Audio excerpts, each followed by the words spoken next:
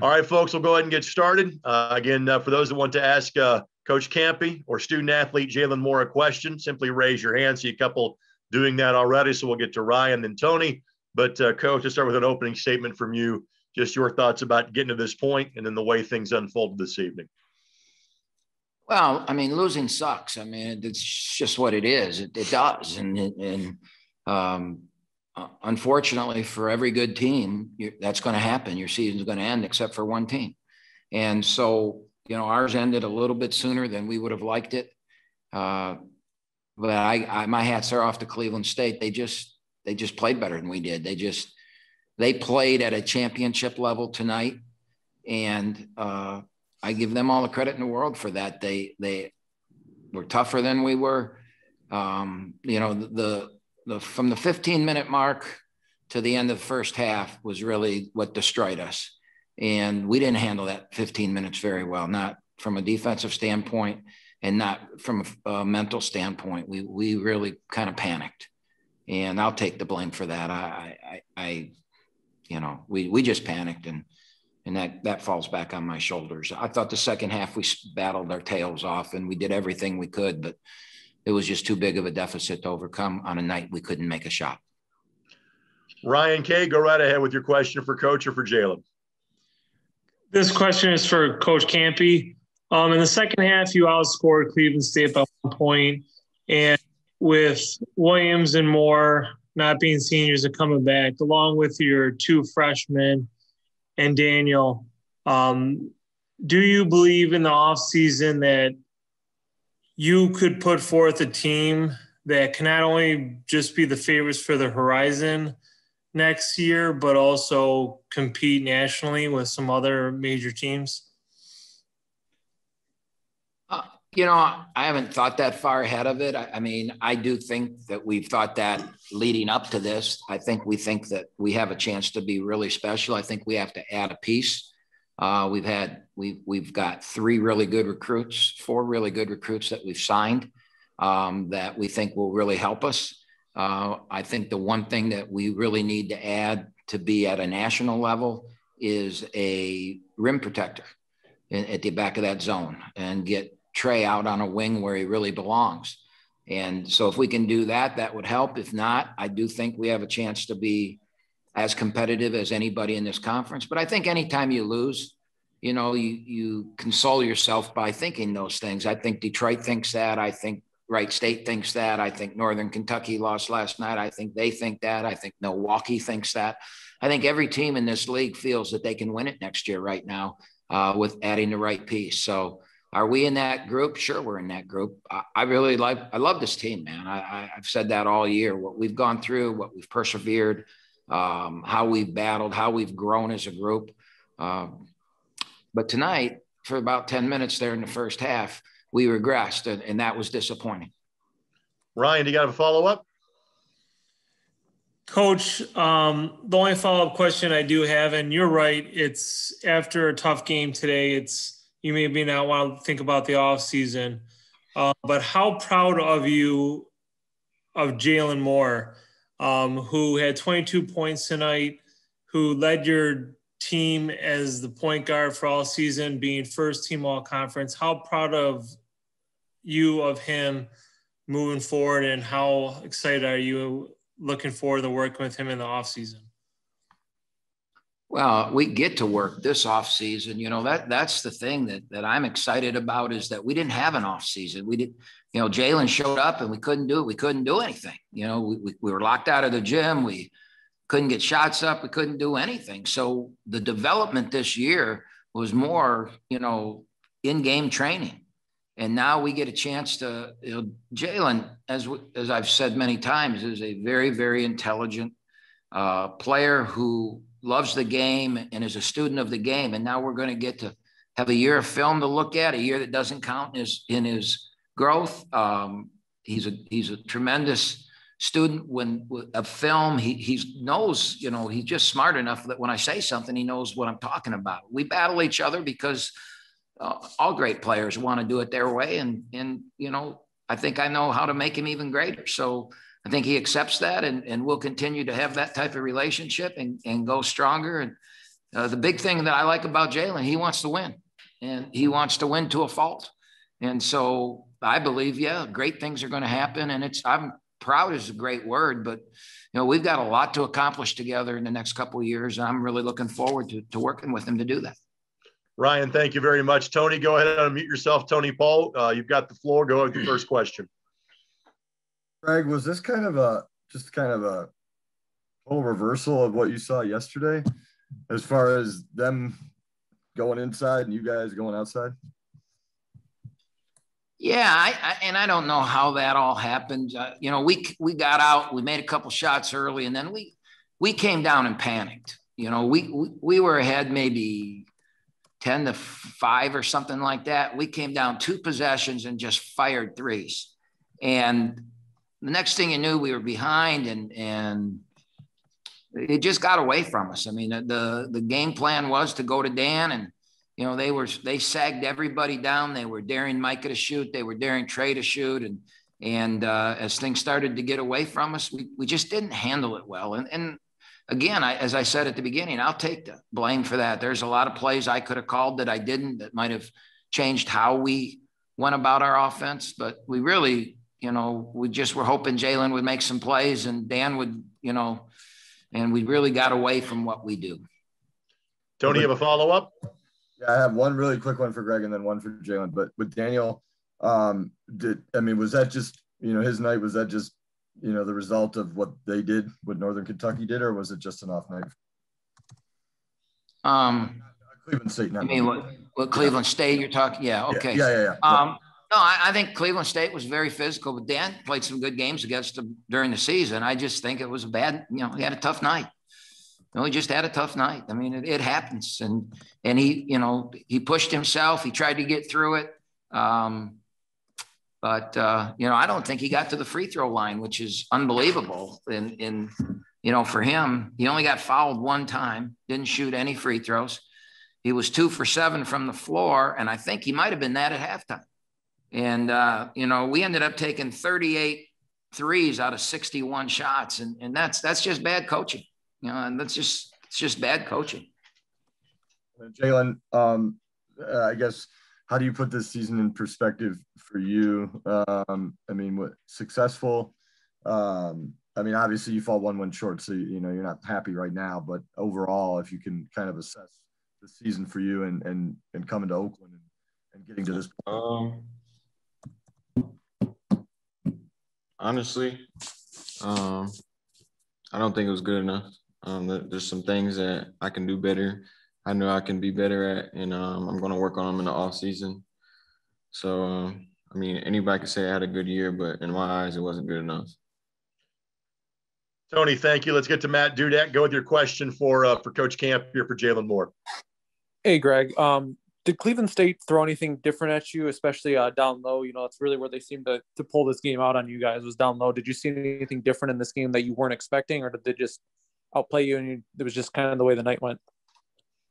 They played some zone, and uh, I don't think we attacked that very well. Um, again, I blame myself for that. I, I, I, just we stood a lot and we watched, and you know, we watched Jalen dribble around a little bit, and then you know Zion went into the game, and we missed shots, and we just played in a panic, and um, so their zone I was a little surprised they zoned us. They hadn't in the other games, but it was. I mean, we've seen enough zone that we've actually played pretty well this year against zone. So I, I, if you asked me before the game and said they're going to zone you, I'd say good. You know, I'm, I'm, I'm glad to hear that. Um, but they got away with it, and and we allowed it by, you know, again, I, we just fell in love with the three. We fell in love with trying to catch up with the home run instead of just playing our, our game. And feel bad about that. I feel bad that I allowed it to happen. Matt, you got one more? I do. Uh, Jalen, as one of the leaders of this team, um, Oakland's been known to have some transfer stuff going on in the past. Obviously, this this whole offseason, there's a lot of transfers expected. What do you do as a leader of this team to try to keep the pieces together and keep everybody local so that you guys can actually build and uh, come back strong next year? Um, I think you know the season we had speaks for itself. Um, we're a young group of guys who went to the championship game. Um, nobody's played with each other except for a couple people, and um, you know we didn't have that much practice with each other. So um, you know, we got we had to get used to each other in the games early on. So I mean, you know, my job is you know just try to keep everybody comfortable and um, help everybody out the best of my ability. We're going to go next to uh, WTHI's Rick Semler. Rick, uh, go ahead. Your question for Coach Kampe or for Jalen Moore. Hey, Jalen, how you doing? Um, I know you're you're so big on uh, wanting to prove yourself. You were doubted in high school, doubted going to JUCO, and uh, you had several people overlook you when you went D1. Lead the nation in assists, the monster scoring season. How satisfying was it to prove not only could you play Division One this year, but you could excel at the Division One level this year? Um, it feels good, but I honestly don't look at that stuff like that because I know what I'm capable of. You know, there's a lot of outside people who hasn't played the game ever in their life that has their opinion on me. Um, they don't know the work that I've put in, so um, it feels good. But I try not to look at that stuff as much. Rick, you got a follow up? Yeah, one more question. I remember talking to you last year. You know, you had you had a couple years at Oakland, and you one of the things you want to do so bad was get to that NCAA tournament, and you come up one game short. I know it just happened, but just how bad is this going to drive you in the offseason to one more opportunity to, you want to get to the NCAA tournament? Um, yeah, it really hurt today. Um, just seeing them celebrate and you know hearing how happy they were and stuff like that. You know, I watched it and it really hurt. Um, you know, it was, it a big goal of mine to get to the NCAA tournament, and it would have meant so much to me to get to it um, here at home. Um, but you know, it just wasn't meant to be. So um, we got to move forward and continue to be better. And there's always next year. Rick, thank you very much. I've got one question posted me in chat that I will ask. We'll let you guys go. This is from uh, John Title, uh, Coach Kampe, for you. You, you. you played your typical brutal non-conference schedule. So clearly you've played some other NCAA caliber, you know, NCAA tournament caliber teams.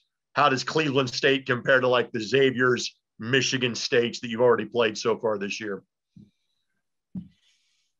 Well, I mean, from a pure talent standpoint, I don't think they're in a, you know, we played a lot of top 10 teams, and I don't think, you know, there's no Isaiah Livers or Hunter Dickinson out there on their team. But what they have is they have a co- co- cohesive group that play their tails off, that are opportunistic. They get all the loose balls, they're physical, and they believe in themselves. They've got enough guys that can make shots that, you know, they've got a chance.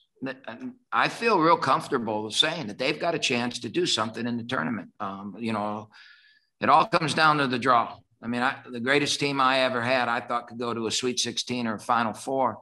And Texas is the number one team in the country, the second to last week of the season and then they lose in the Big 12 champion or first round of the Big 12 and they fall all the way to a four seed. They've got three first round draft picks on their team. We lose by two or four to them in the first round of the tournament. You know, I mean, that was just so heartbreaking to see that team have to play a team that I thought was a one or two seed. And so you never know how that's going to shake out. And, um, you know, the matchup that they get, you know, they're, they're capable. They're capable of, of doing some special things. That they're well coached. They're play their hearts out and, and they've got physicality. And in this game, if you have physicality, there's nights you can beat anybody. Guys, not many teams start 0 9 and, and play for a conference championship. Congratulations on a great turnaround of your season, Coach Kampe. Jalen, I had the pleasure of covering some of your games in high school. Very happy for you. You made it to this point uh, at the Division One level. Guys, thank you for your time and, and, and uh, enjoy the offseason. Thank, Thank you. you. Appreciate it. All right, folks. Again, we will have uh, Coach Gates from Cleveland State, as well as Torrey Patton, the tournament MVP, after the celebration period is over on the floor. Please stay with us. Well, ladies and gentlemen, we are joined by the Horizon League champions. For the first time since 2009, it's the Vikings of Cleveland State University. That's going to make you smile for a long time, Coach. Dennis Gates is joining us, tournament MVP. Torrey Patton is joining us. We'll start taking questions in a moment. Uh, but uh, coach, just an opening statement. How you feeling right now? Well, this is outstanding. Um, you know, I, I, wanted to step back and see how the guys was going to react to it. I told them this was a sweet opportunity that we've put ourselves in, and there's nothing more like cutting down the net and holding up a trophy. Uh, our guys, man, first of all, credit to Oakland. Uh, I have so much respect for Coach Kampe and what he's done with his program over the years. He's one of the most senior guys in the country. Uh, but he he is a great coach, a great coach. And one of the first phone calls I made when I got the job was to talk to him and give him his respects because of what he's done uh, throughout this conference. So, uh, you know, being able to to finish this game the way that we want it, the way that we plan, is is great. Uh, I want to give thanks to our campus administration, President Harlan Sands, Scott Garrett, and obviously the Horizon League for getting us to this point. We played over 90% of our conference games. We were able to mature, uh, maturate as a team, as a program, and ultimately get to this point of a conference championship. Uh, to our parents, to our family, friends, and loved ones, thank you guys for your support. Uh, this is a wonderful feeling, man. Wonderful feeling. Robert Fenbers, you're up first again. I'll, I'll let you ask a question. I will come back to give you time for a follow up, and then I'll move on to the next reporter. Robert, the floor is yours. Go ahead. Thank you. Uh, congratulations, Coach Gates, on the uh, uh, Horizon League championship and clinching the berth to the NCAA tournament. Um, you know, this team has gone through so much adversity just in this tournament alone. You know, for you guys to take that 10 point lead before half, it really seemed like that was kind of that turning point. and you can just see the excitement in their eyes. What did you say during that timeout when you guys had that lead and you guys were getting ready to go in the half? Well, I'll tell you what, it's not what I said, it's what the team said. They said, let's keep doing the uh, fundamental things that we've been doing, um, not settling for outside shots, getting into the paint. And, you know, our, our, our, our team's leadership stood out during that moment. Um, our guys d- defended. They defended from the very beginning of the game to the end. Uh, they played together to have 20 assists and seven turnovers that's tremendous basketball. And we shot 51% from the field. Um, to win a game like that, you know, it, it, just speaks to our guys staying in the moment. It speaks to the adversity that they had to overcome maybe in their lives that applies to the same things that a basketball game uh, could could could could present, and they just fought through it, man. And I'm proud of them. Torrey Patton, this guy sitting right here, uh, unbelievable. He did a great job, and it's about them student athletes. Robert, your follow up? Yeah, you know, just following up with that, you know, you've talked so much about the core values of this program. How did you see those core values come into play throughout just this three game stretch here in the Horizon League? Well, the friendship and love um, part of it, our guys love each other. They play for each other, they play with each other, and they leave whatever they have on the court. Uh, they're literally connected as any connected group I've been a part. Uh, so that's the friendship and love. They hold each other accountable. So accountability is the next one. Um, you know, and they and they trust and they trust. They trust each other. You know, um, you look at discipline, unselfishness, enthusiasm, and toughness that was displayed in everything that we've done and sacrificed from the social lives to, to, to, to get to this point. Our guys put a lot behind for the team and they did it for this moment. This is one of the moments that they did it for. And to see it come to fruition is very important to young people as they grow. It's important to young people as they matriculate and, and, and maturate in life there's nothing that comes without a sacrifice, and they sacrificed all they did and all they had to do to get to this moment.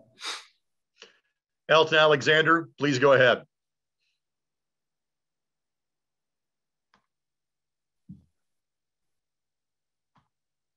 Let's try that again. Elton, go ahead with your question. Floor is yours. I'm, I'm sorry, Coach. Your your physicality was really, really big in this game. Uh, I know it can travel to the NCAA tournament, but will it be enough uh, to carry it to the kind of uh, victories you want to get uh, going forward with your overall lack of height? Well, as it relates to our next opponent, the most important opponent is ourselves. That's what we spoke about all season. And we never look too far ahead nor too far behind. We just continue to focus on getting better and learning from our mistakes and those lessons.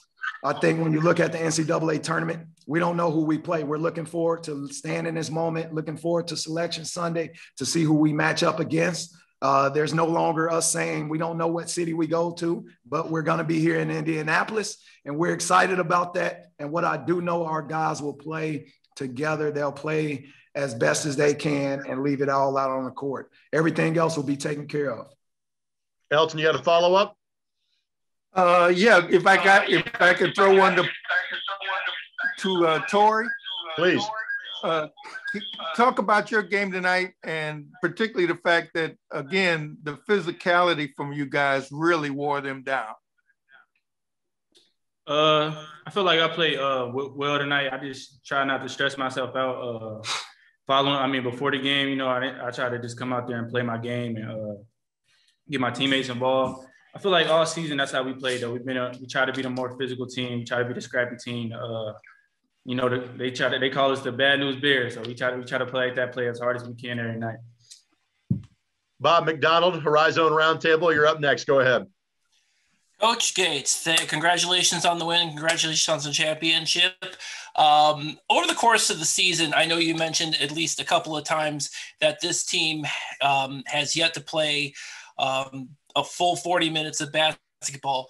Was this game that full 40 minutes? And if not, how close are you guys to getting there?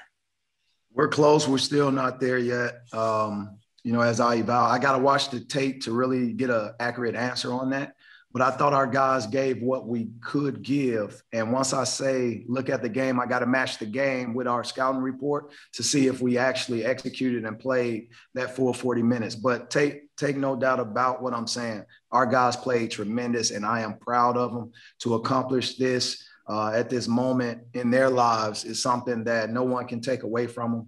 They earned it, and obviously, it's, it's, it's for Cleveland State University. I'm so proud of these dudes. I'm proud of my staff uh, Rob Summers, Drew Joyce III, Ryan Sharbaugh, Chase Goldstein, Rosby Mutcherson, um, Dickie Nutt, those guys, man, being able to prepare for this moment is the most important part. Our job as as leaders is to put a mirror up so these young people see the ver- best version of themselves.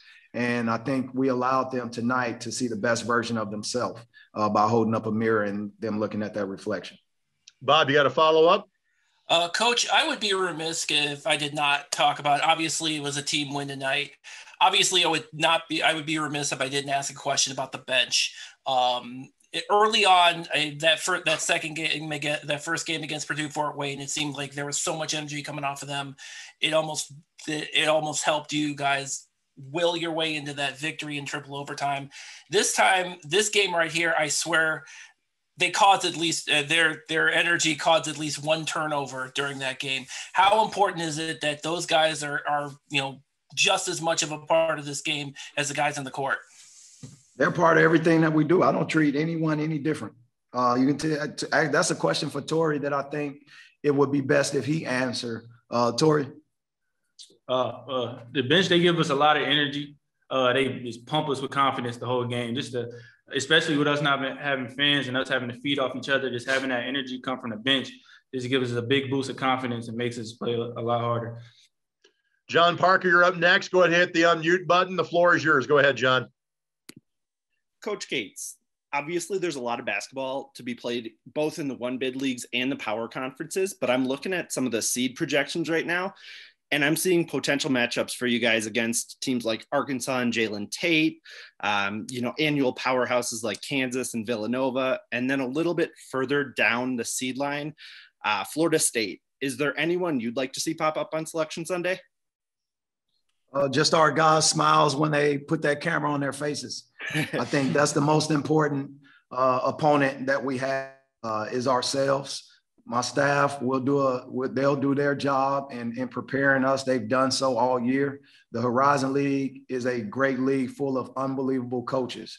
You got mike davis who's coached that in the final four uh, coach nagy who's won multiple championships. You got jerry calhoun um, and, and coach Kampe. You, you have a lot of great coaches from great pedigree pat baldwin had his team ready to play Jon Coffman is is number two in the country in uh, offensive efficiency behind Baylor, uh, behind Baylor and above Gonzaga.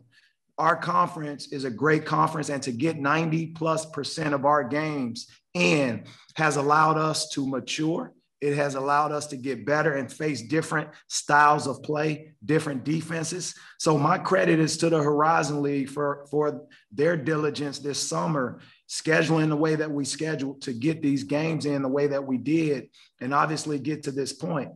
You know, the utmost respect to whoever we play, but this is a moment for our guys. I want to enjoy this moment for our guys, and Selection Sunday is Selection Sunday. Everything else is a guess, so I can't guess on who we're going to play.